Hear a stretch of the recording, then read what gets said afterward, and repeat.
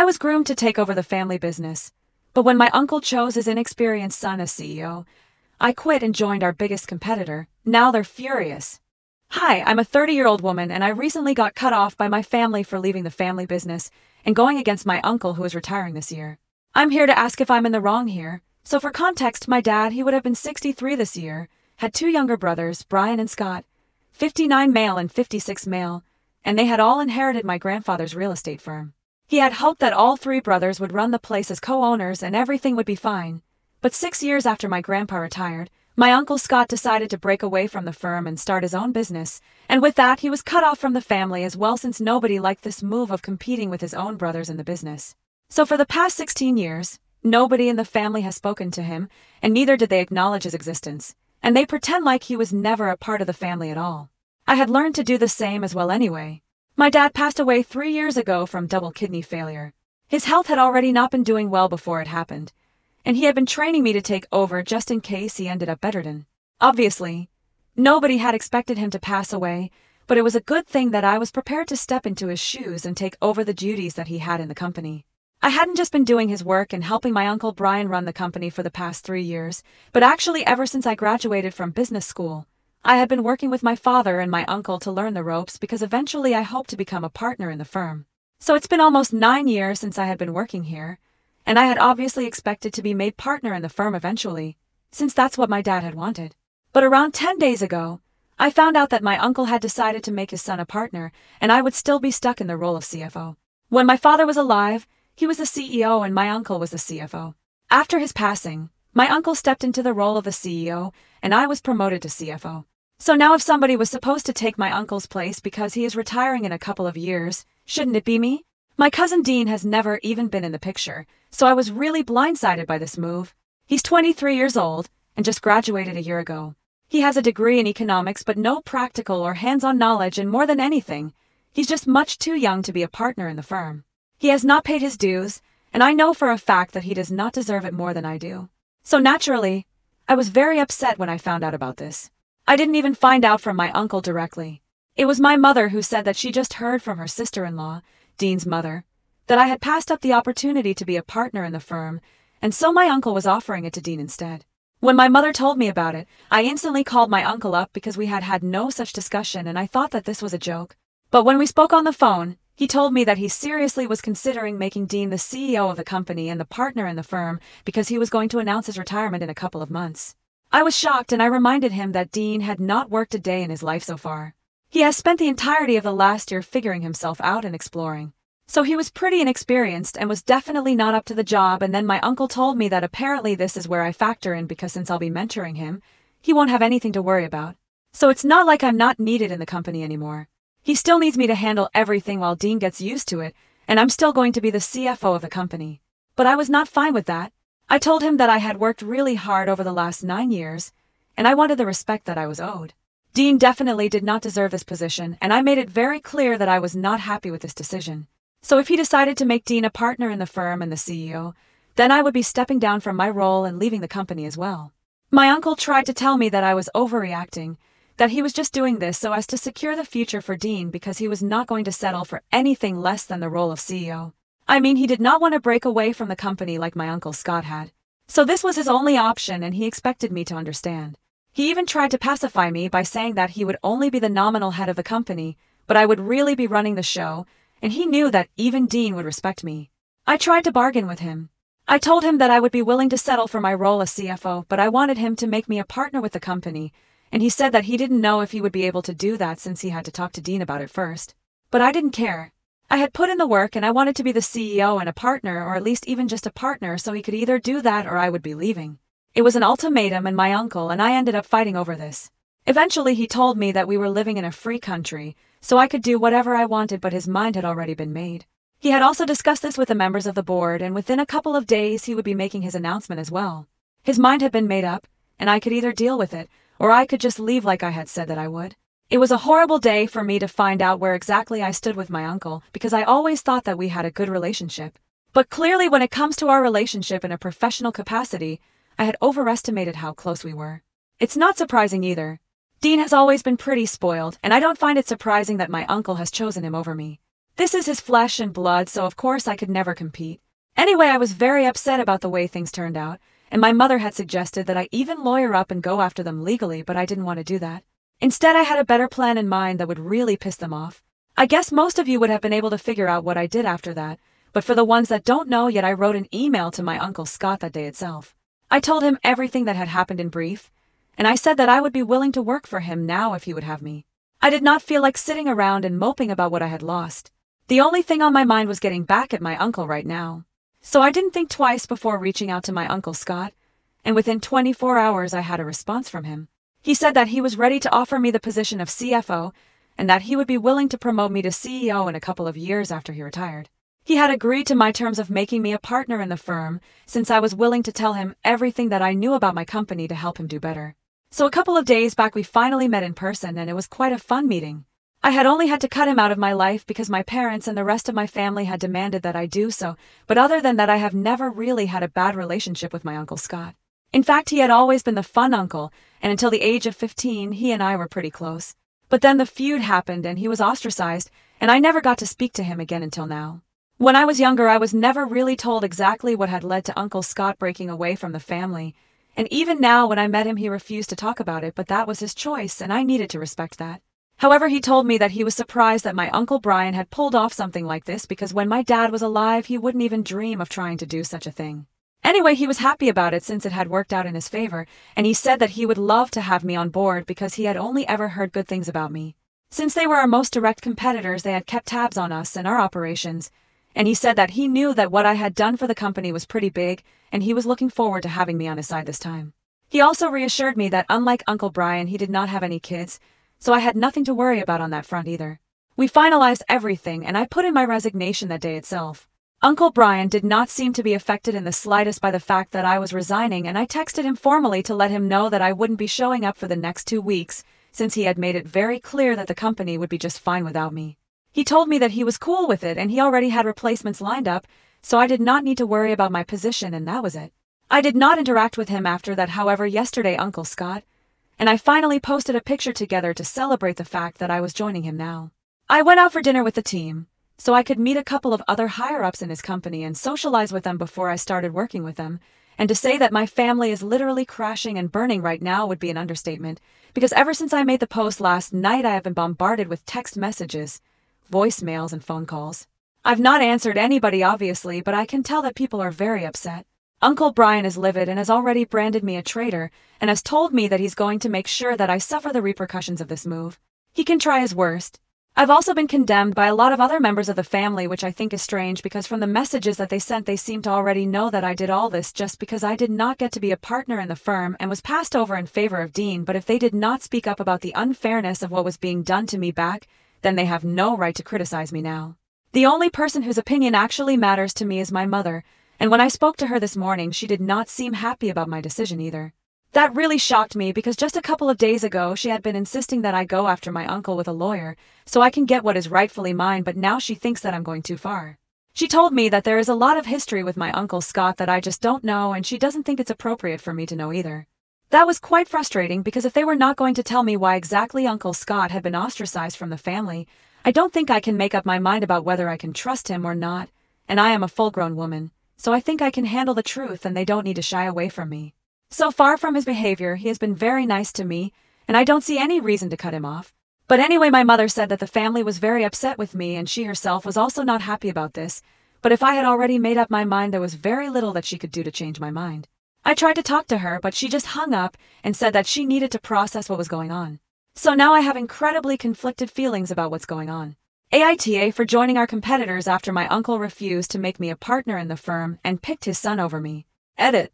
Hi, so some people were confused about how I got the job at Uncle Scott's company so quickly, and well, it was actually just pure luck.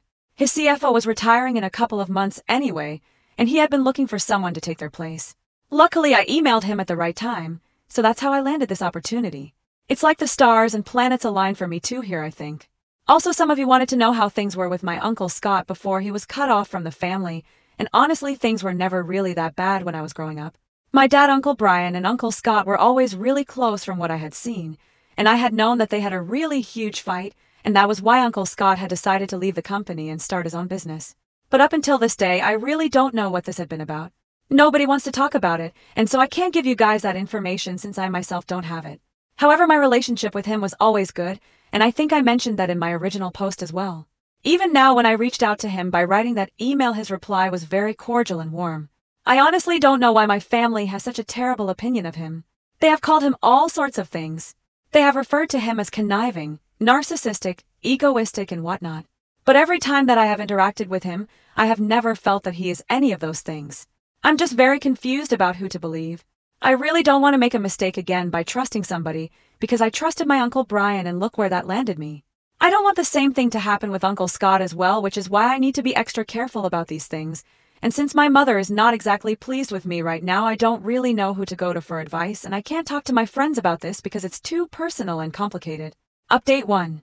Hello, so it's been three days since people found out that I was going to be working with Uncle Scott, and after the initial backlash, people have just stopped talking to me. I guess this is fair enough now that I'm associated with Uncle Scott, and they're treating me the same way that they've been treating him. I honestly still have no idea what had happened between them all those years ago, but I have picked which side I want to be on and I can't go back anymore. To be honest, the history of their relationship doesn't even matter to me. It's not like I can just quit and go back to working with Uncle Brian now and I need a job. I need to sustain myself and the lifestyle that I have gotten used to and I need a ton of money obviously. So whatever it is I'm here now, and I'm going to make the best of my situation.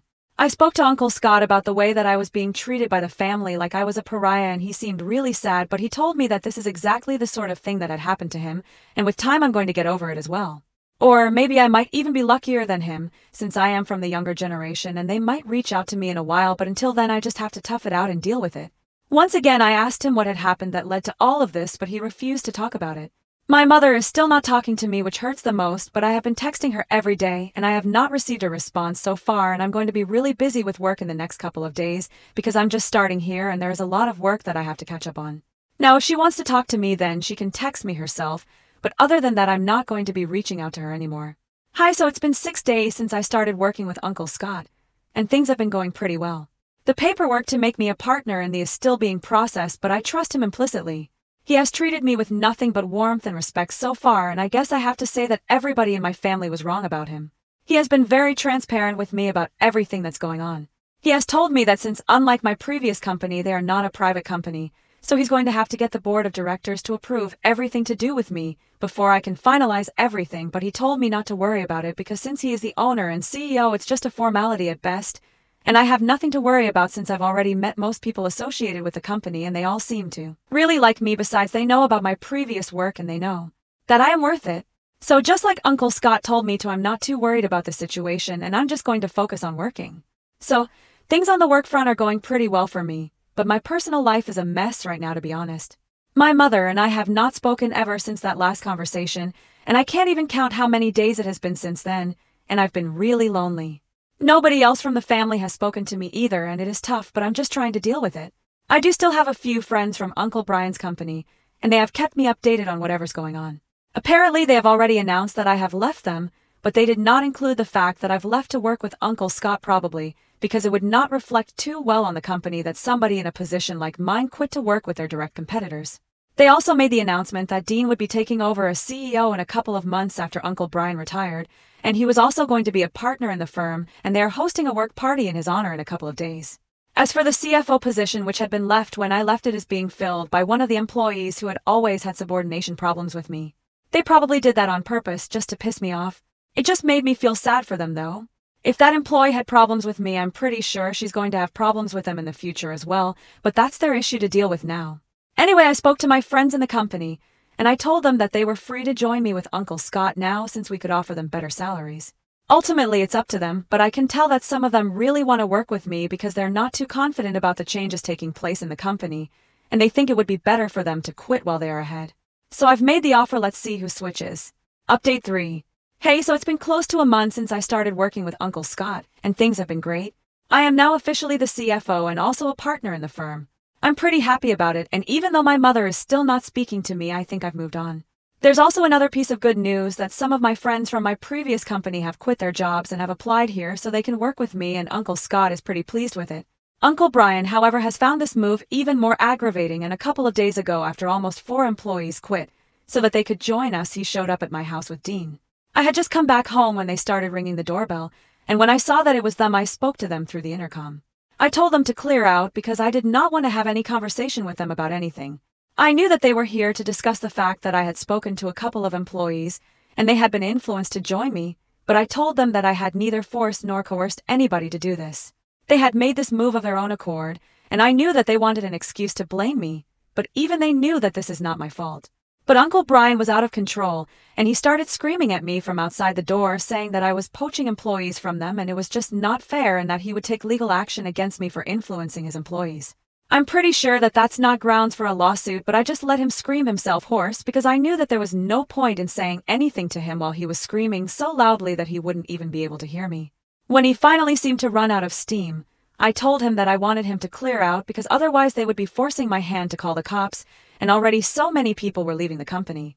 I'm pretty sure they did not want more people to leave citing the fact that they seemed to be mentally unstable.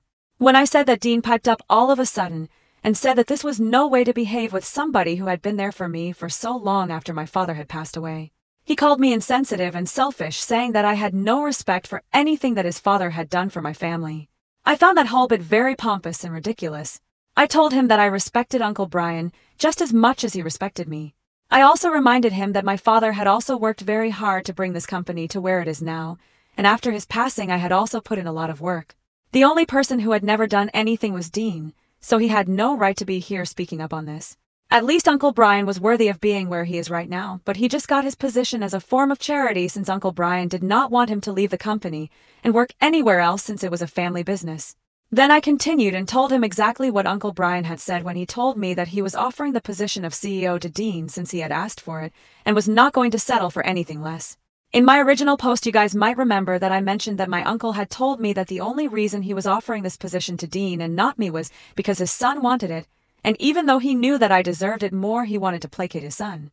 He also said that he would only be the nominal head, but I would actually be running the show, and I remembered it clear as day, and I mentioned it to Dean, so he knew exactly where he stood with his father, and then there was silence. I heard them arguing softly, and then I heard footsteps of them walking away and pulling out of the driveway. So my job was done now the two of them could duke it out, but at least they would leave me alone. The next day I woke up to find out that both of them had blocked me, and I was very pleased. Anyway, life is getting better. Now I know that whatever's going on right now would have made my dad very upset, but at least I have the satisfaction of knowing that none of this was my fault. Uncle Brian got greedy and kicked me out, so if there's anybody to blame for the situation, it's him. I'm very clear about that now so that nobody else can ever try to guilt trip me again into doubting myself. The only person I'm still holding out hope on is my mother. I really do wish that she comes around eventually, because she and I have always had a great relationship and especially after my father passed away we had started bonding even more. I definitely miss her every single day and I keep thinking that maybe she will text me eventually, but so far I have had no such luck. At least she hasn't blocked me yet, so maybe she's keeping the door open. I might try to reach out to her if I start missing her too much, but for now I'm still trying to figure out what to do. Update 4. Hey guys, it has been close to six months since my last update, and since then many things have changed. For starters, Uncle Brian has officially retired and Dean has taken over the company. So far, he's just maintaining the status quo and not doing anything different. Maybe things might work out for them after all, but it hardly matters to me. Since then, a lot of employees that used to work there have switched over to us, and I'm very happy about it since I get to see a lot of old faces in my new company. My mother and I have still not spoken to each other, but I finally might have a reason for that now. A couple of weeks ago, I was having dinner and drinks with Uncle Scott and his wife. After a while, my aunt left the room to get some rest, and while talking, I finally asked him since now I was pretty grown up and we were working together. I felt like I really had to know what had happened between him and the family that had led to him getting cut off and he finally told me that years ago my mother had tried to start an affair with him on the day of Thanksgiving dinner that was being hosted in our house. She asked him to help her out in the kitchen, and he followed her without having any idea about what was going to happen, but once they were alone in the kitchen, she told him that she wanted to take things beyond with him, and even though she was married to my dad, her eyes had always been on him. He tried to get away from her, and just in a nick of time, my dad entered the kitchen and caught the two of them standing really close, and my mom freaked out and started accusing him of trying to start something with her. I don't remember this because Dean and I were in our rooms, but my dad had lost his temper and kicked him out of the house that day. Later on that day, they had told me that Uncle Scott had to leave because he had some emergency at work. However, after that day, my mom came up with a bunch of other lies to cover up for this incident, so that nobody would believe him, and even told Uncle Brian and my father that he had been planning to steal money from the company as well and start something of his own. My dad and Uncle Brian had confronted him about this later and had told him that they were going to mess him up real good if he did not step aside on his own. So he decided to leave the company and started his own business. And since then, he has had nothing to do with his family. After I found out about all of this, I decided it would be best for me to follow in his footsteps and have nothing to do with my family either. It was really saddening to find out about my mother, but it is what it is. I have accepted the facts, and this is my life now.